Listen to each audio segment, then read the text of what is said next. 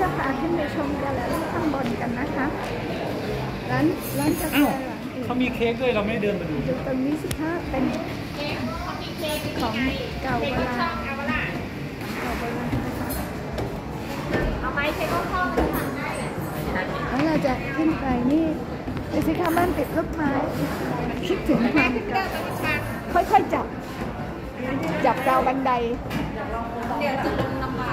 ค่อยๆ จับราวบันไดไปค่ะเราไม่ได้เจอภาพแบบนี้มานานแล้วนะคะ สมัยก่อนแม่ชีก็อยู่บ้านแบบนี้ค่ะ ค่ะ เนี่ยที่เห็นเงาเงาเนี่ยนะคะ เนี่ยคือเงาของเอ่อก็ราวบันไดอะนะคะ แต่เป็นรูปกลมอะไม่ได้เห็นมานานแล้วค่ะ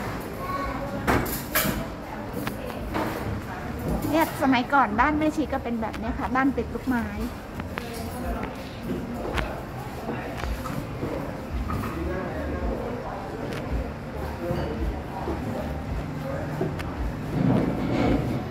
นี่ก็เป็นงานศิลปะนะคะ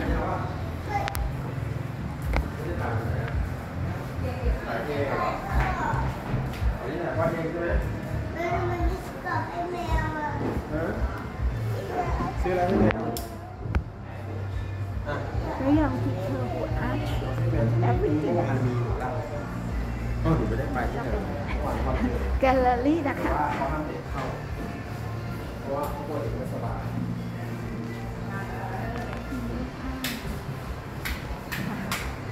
เนี่ยค่ะที่ชื่อร้านหลานเอกนะคะ คิดถึงบ้านเก่าเป็นแบบนี้แหละค่ะ บ้านติดลูกไม้ บ้านแม่ชีก็มีแบบนี้ทุกอย่างเลยค่ะ บ้านเก่าของแม่ชี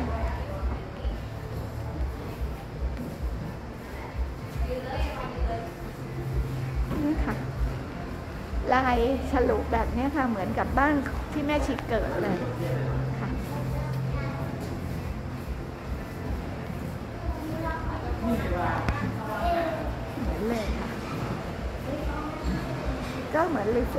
ะ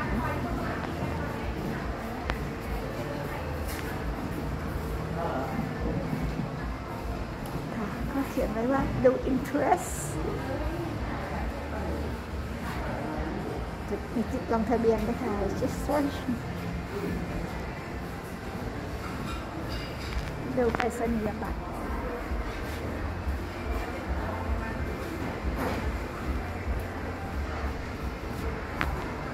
ประตูไม้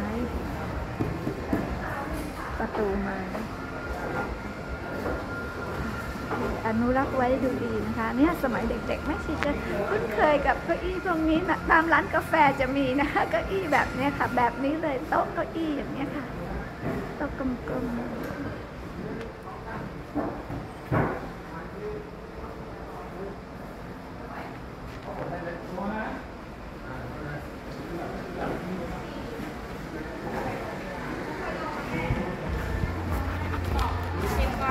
ลงมาถึงลงมาถึงชั้นล่างแล้วนะคะ